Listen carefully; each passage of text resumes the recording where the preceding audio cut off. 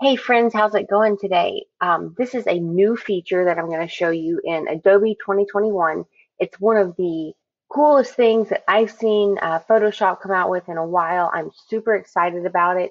And the best part is anybody can do it. Like if you can click a mouse, you can do this in two seconds. So we are going to replace the sky. Um, up here. I'm sure that some of you have gone in and replaced the sky before. It's a ton of work. And, and looking at this, we would have to cut out a lot of stuff. And this would be a ton of work to replace this sky.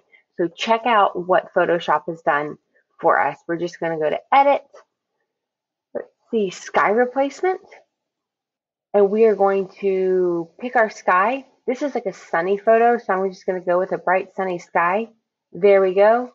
Say OK, and boom, Guys, that simple, so easy. I love it.